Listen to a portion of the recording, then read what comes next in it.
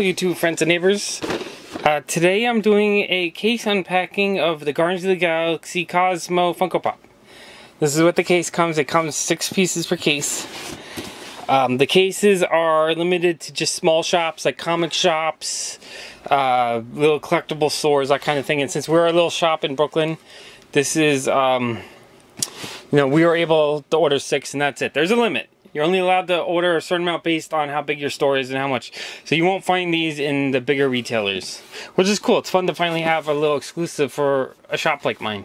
So let's unpack it. One,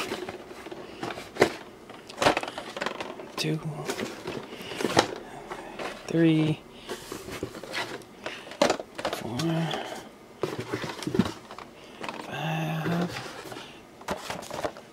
six. Um, what's cool about the new specialty series figures is the little shops like mine will be getting, I think once a month there will be a release. So this is exciting to me. I I'm excited that I'll, obviously I'll be able to get one for myself. I'll keep one for my collection and the rest will go to my regular customers. Let me unbox him so you can see what he looks like. Uh, we got, I, I do like the specialty sticker the box art's really cool. On the back they have the uh, comic version. I like this character on the Guardians of the Galaxy cartoon. He's pretty fun. And he makes his little special appearance at the end of the Guardians of the Galaxy with Howard the Duck. He's in the collector's collection. Let's look at the bottom. Alright, let me get him open.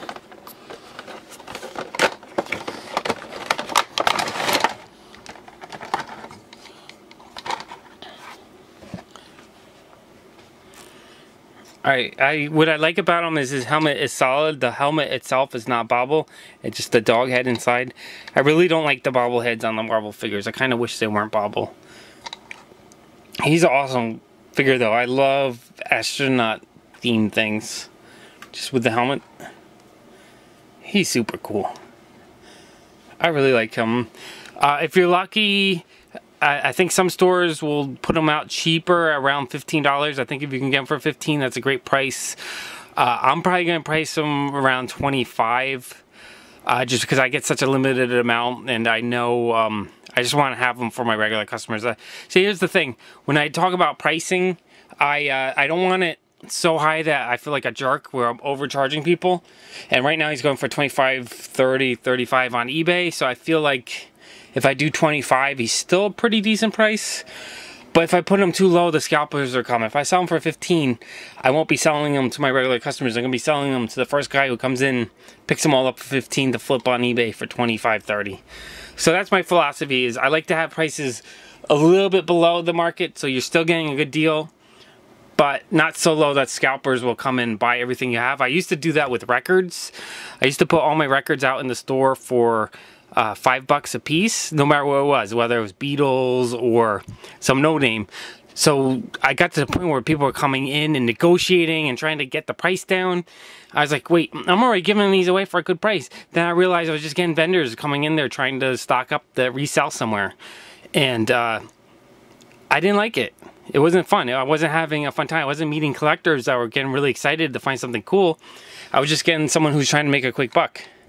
So I uh, I started having to raise my prices, which I kind of hated, but um, you know I, I needed to make a few more bucks to pay my bills, but I also wanted people to um, I wanted when the collectors come in my store they have something to buy. So if the price is still 10, 20, 30% below eBay, I feel like they can walk in knowing that they'll get a good price, but I'm not getting the scalpers coming in anymore. So it's good. I'm great. I'm meeting collectors and I'm enjoying it. So anyone who lives in the New York, Brooklyn area, just leave me a message if you want one and I'll hold it for you.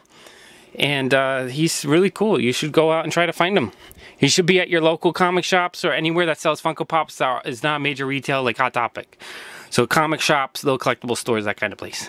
Alright, if you enjoyed this video, please give me a thumbs up. And uh, if you like my channel, please subscribe. And thank you so much for watching. Bye!